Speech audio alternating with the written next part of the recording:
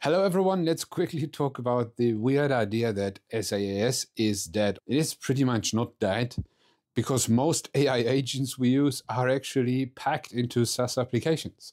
And there is a thing that when you are long enough in the market and you build software long enough for other human beings and companies, you know that the vast majority of things you do is actually for people because they don't want to do that themselves. They don't have the time for it. They can't be bothered to do that. And they are simply a little bit too lazy sometimes, right? You do those kind of things so that others don't need to go into this nitty gritty debugging stuff, finding problems, solving problems, extending the applications. They just want to do their businesses. They just want to consume something, videos or something like that. I don't know. Whatever the people want to do with their apps, right?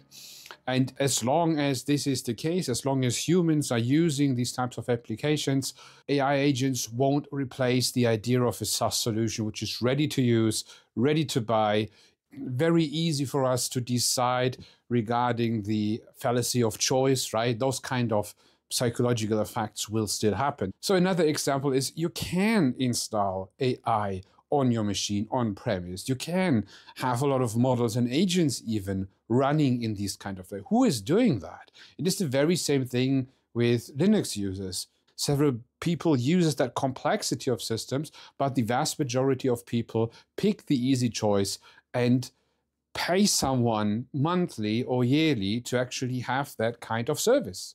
That is still how things are going to work out. And the third big aspect is the main drivers for this idea are actually the large corporations, those who build those very expensive agents right now who try to sell you their solutions long term. What they're talking about right now is a far future vision. It's a hypothesis. Maybe it will be someday, somewhere in the future like that. But the real economy out there, the circumstances for most people are still totally different. And no, the common person won't just become a AI engineer, a no coder or whatever, and just have an AI agent which is spawning all dream applications for this kind of person. That is very unlikely to happen, right? So don't panic there. It's all good, right?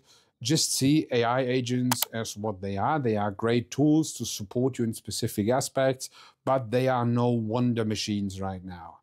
They don't replace anything on the market right now. They are simply tools which are very impressive and expensive at the same time. So keep calm, keep doing your stuff, keep building applications. You are fine out there. Goodbye, everyone.